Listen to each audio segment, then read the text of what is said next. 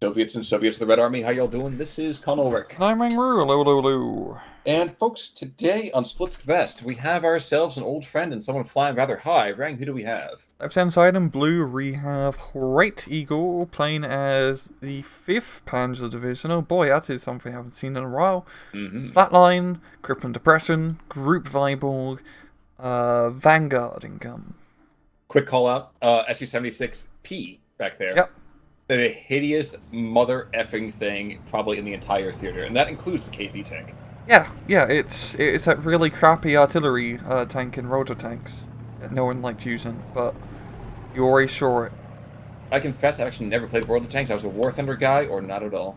Oh, you're not missing out too much. Oh, good. Phew. uh, openings. What, what can we see about the openings here, big guy?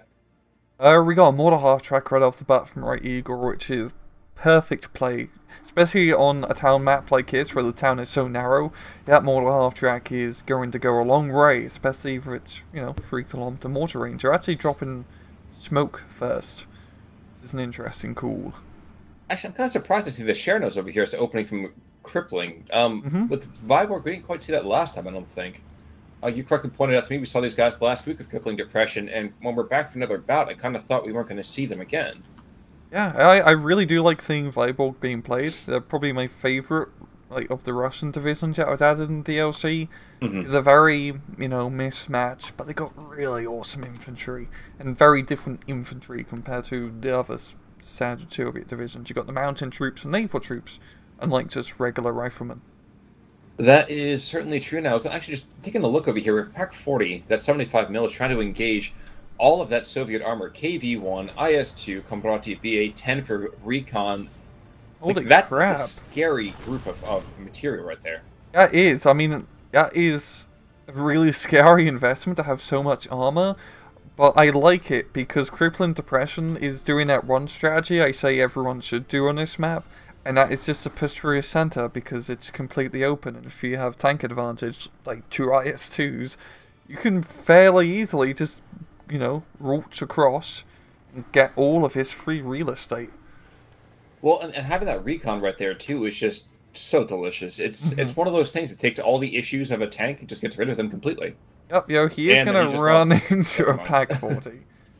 yo, hey, at least, you know, he, he spots the PaK 40, technically.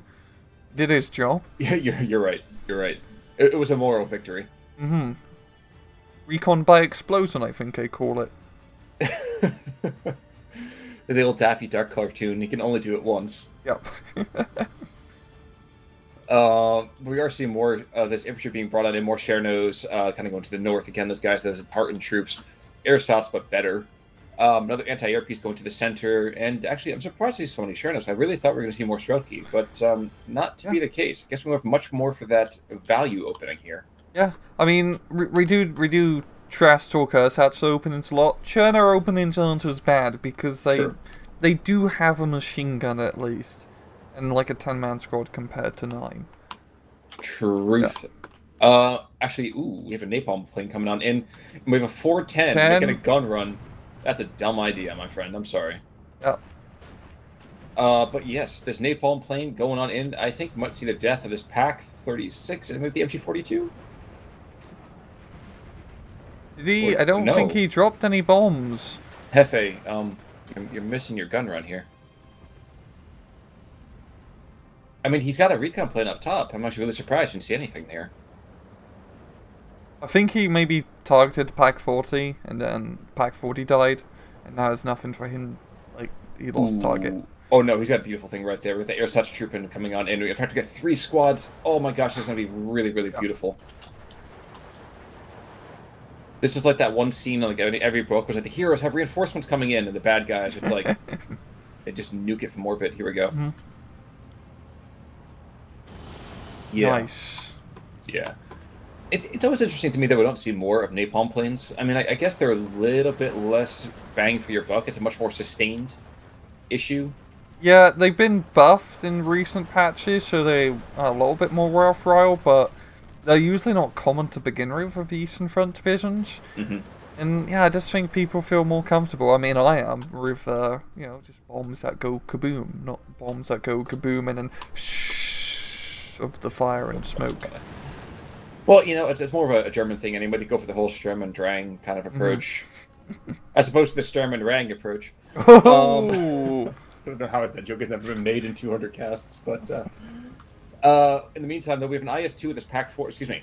Wow, P4 in a PaK 40, trying to keep the Soviets at bay. I don't think this is going to last any longer than the time it takes for the IS-2s to start shelling Yeah. that tank.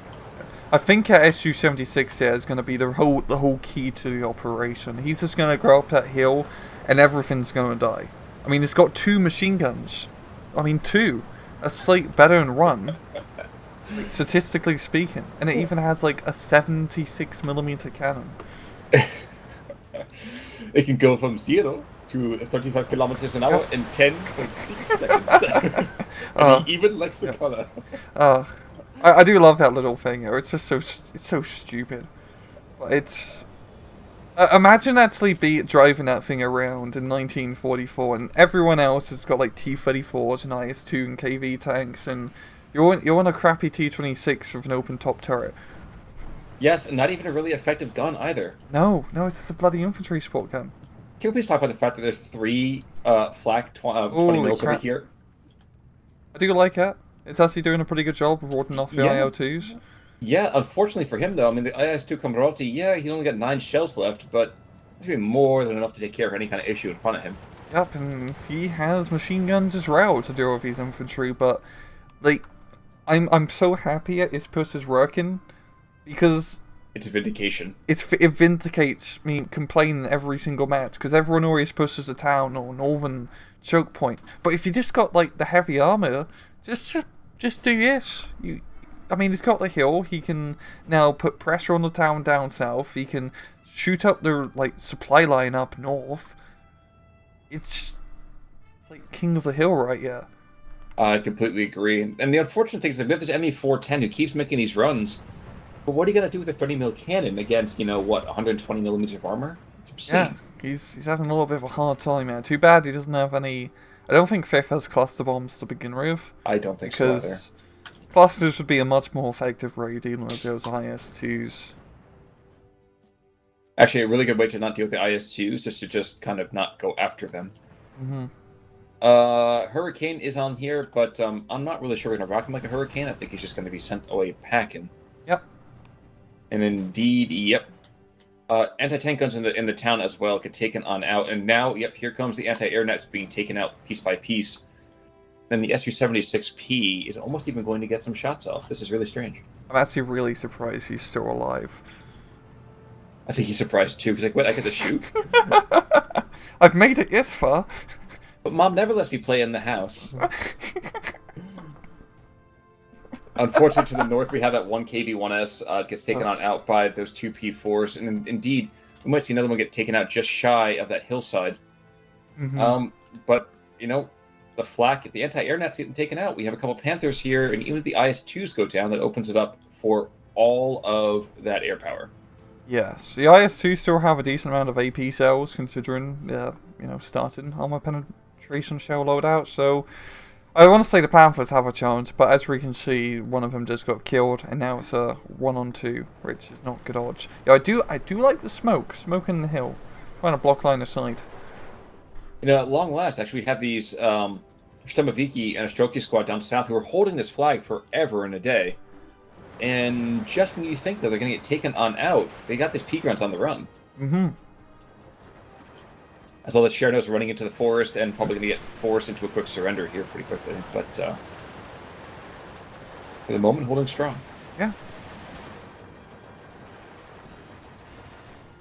Yeah, I think uh, White Eagles is going to be bringing out more of those heavier tanks. The Panthers are just kind of conga lining.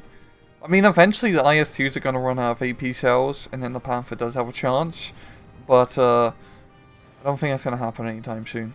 Yeah, I was to say, you, you want to be the one to write that, that letter back home? Yeah, it's, I mean, it's definitely a costly affair to throw Panthers into enemy tanks until the enemy tanks run out of ammo.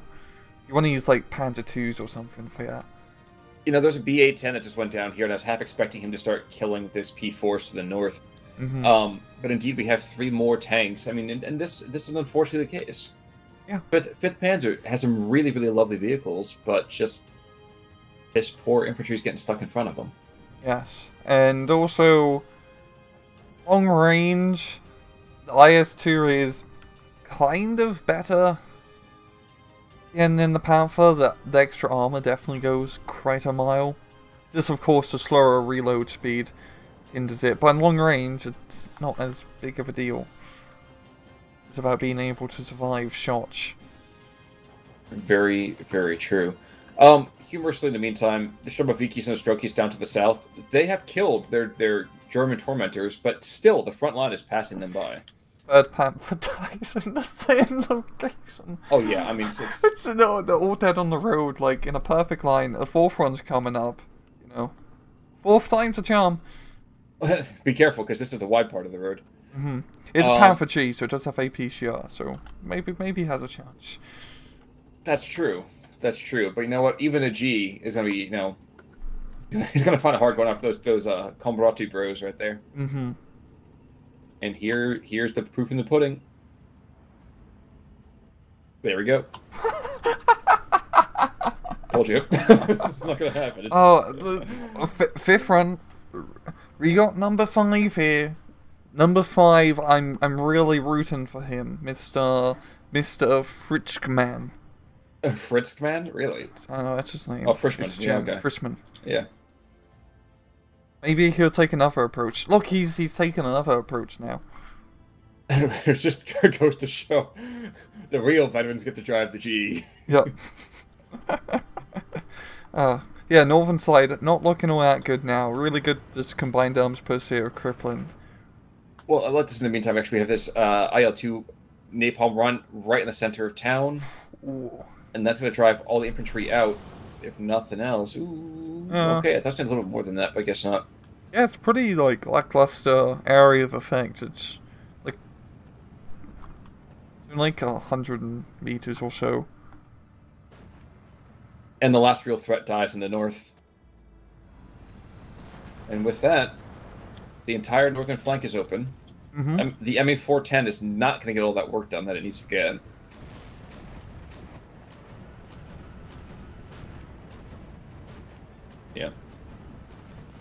Unfortunately, it looks like crippling depression has brought our soaring friend back down to the earth. Yeah. And that Panther G goes, goes down in the meantime, too. Geez, those IS-2s have been champions. They have no more AP shells. Actually, the one in the lead has no more AP shells. One of the backs got four, but um, yeah, good freaking luck being a German player at this particular moment. Yeah, yeah. Just that was really good positioning with those IS2s. Just pushing along the center, getting the hill, and uh, pretty much just run crippling the match. Yeah, Yeah, like I'm I'm I'm so vindicated, Khan. This this has made my day. Thank you, I- crippling, for doing this strategy. Well, you know, again, um, I'm happy I can be here with you. You know, I'd, I'd like to thank the Academy. Um, Really putting in some hard work. Those guys just working hard. Panthers telling us what not to do when engaging an IS-2. Yeah. Uh, but yeah. Yeah. I mean, we're in Phase B right now, and I have absolutely no idea how the heck White Eagle's going to combat this. I I don't feel like he'll be able to. It's just too much on the field at this point. Maybe if he invested in some heavier armor earlier to try and deal with those IS2s before they got onto the hill. But I mean he he did have a chance to kill them with the Panthers, he just didn't deploy them right. He kinda sent them in one at the time.